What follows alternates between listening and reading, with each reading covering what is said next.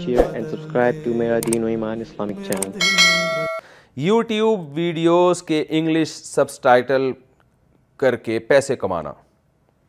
मैं लोगों की यूट्यूब वीडियोस पर इंग्लिश सबटाइटल्स लगाता हूँ, जिससे उन्हें ज़्यादा व्यूवर्स मिलते हैं और उन्हें ज़्यादा पैसे आते हैं। क्या ये काम हलाल है या हराम?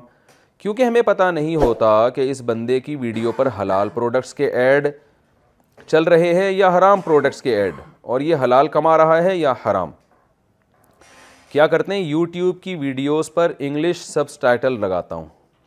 देखो, किसी की भी वीडियो पे इंग्लिश सबटाइटल लगाना, अगर वो वीडियो बजाते खुद हलाल है, जायज़ है। कोई ड्रामे फ़िल्म की वीडियो नहीं है। कुछ जायज़ चीज़ की, जैसे खाना पकाने की तरकीब होती हैं, या कोई बयान है, या कोई प्रैंक कर रहा है, जो जायज़ प्रैंक हो हराम, नाजायज़ ना हो। और तो ऐसी वीडियोस पे सबटाइटल लगाना भी जायज़ है।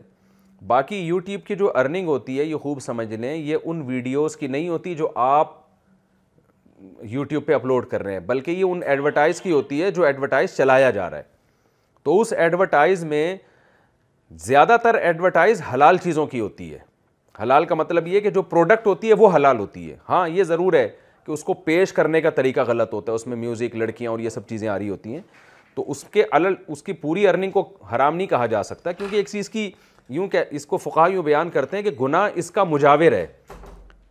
यानी जो चीज़ आप प्रोमोट कर रहे हैं वो हराम नहीं है, बल्कि उसके साथ गुना उससे, उसके मुजाविर बना हुआ है। इसकी मिसाल ऐसे, जैसे आप अपनी दीवार किसी को एडवर्टाइजमेंट के लिए दें और वो उस पर शैम्पू की तस्वीर के साथ एक लड़की की तस्वीर भी बना दे। अब मकसद उसका लड़की नहीं है, मकसद शैम्पू है।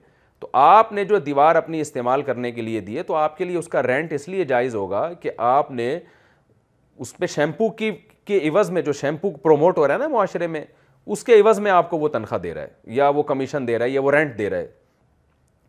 तो चूँकि असलन एक चीज़ फ़ी नफसी ही जायज़ है, जितनी चीज़ हराम है, उसको उतने हिस्से को हराम कहा जाएगा। लेकिन हम फिर भी एहतियातन ये कहते हैं, क्योंकि यूट्यूब में हलाल चीज़ की प्रोमोशन के साथ बहरहाल लड़कियाँ आ रही होती हैं तो एहतियात इसमें बहरहाल यही है कि पाँच से दस फ़ीसद अर्निंग उसमें सदका कर दी जाए, एहतियात की वजह से कहा जाता है। और अगर कोई ऐड ही हराम चला है जैसे शराब का ऐड चला है तो उसकी तो टोटली अर्निंग ही हराम होगी। तो हमारी जो जितनी टूटी फूटी तहकीक है, उसके मुताबिक ज़्यादातर ऐड हलाल प्रोडक्ट के होते हैं। तो इसलिए अगर आप किसी चैनल पे काम कर रहे हैं, उनको इंग्लिश सबटाइटल बना के देते हैं, और उस चैनल पे एडवर्टाइज़ चल रहे हैं एडवर्टाइज़ में ज़्यादातर अगर हलाल प्रोडक्ट के चल रहे हैं तो फिर आपकी तनख्वाह बहरहाल हलाल होगी। अलबत्त जो आपका ओनर है, जो जो चैनल का मालिक है, उस पर लाजिम होगा कि उसमें जो हराम ऐड यानी शराब का या सूद का या इस सूदी बैंकों का ऐड चला है तो उसकी अर्निंग बहरहाल उसको सदका करनी पड़ेगी। लेकिन क्योंकि गालिब हलाल है तो इसलिए आपकी अर्निंग बहरहाल हलाल होगी।